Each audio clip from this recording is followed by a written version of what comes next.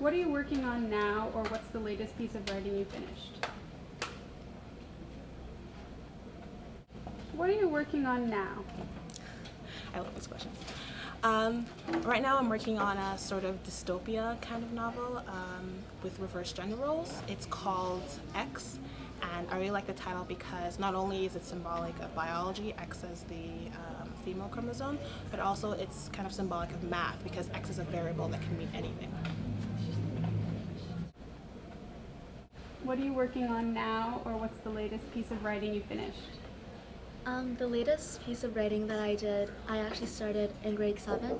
So it's a dystopian novel about a girl who wakes up in another dimension and she's different from all the rest, so she has that feeling that there's something else out there that's not her normal life.